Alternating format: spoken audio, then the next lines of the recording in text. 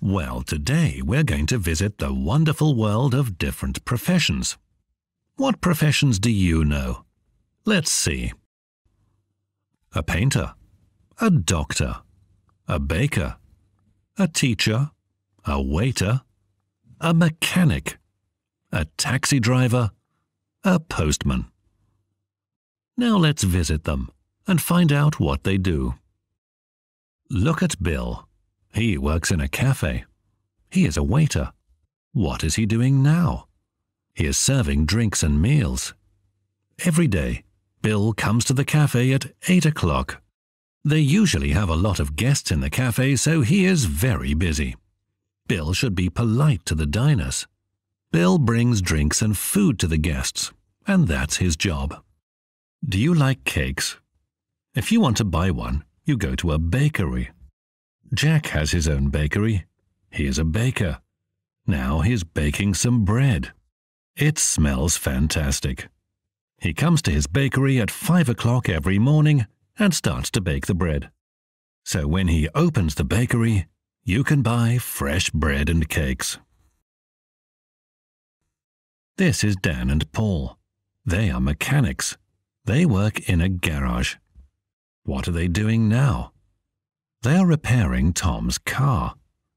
They repair cars every day. That is their job.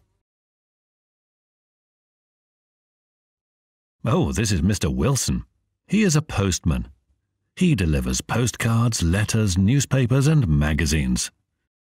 And look at Jim. He is sitting in the taxi. He is a taxi driver. Jim knows the city very well, so he can take you very quickly. Do you like to go to galleries? Let's visit this one. This is Kate Brunt. She is a painter. Now she is in her studio and painting a picture. She has lots of paintings in her gallery. People often buy her pictures. She is a famous painter. Who is standing there? That is Dr. Smith. What's he doing? He's waiting for his new patient. Dr. Smith is a doctor. He treats people every day. He works hard. He takes blood pressure, takes x-rays, he does a cardiogram, and many other things. Then he prescribes treatment. Dr. Smith is a very good doctor. Can you see Mrs. Brown? She is a teacher. She works at a school.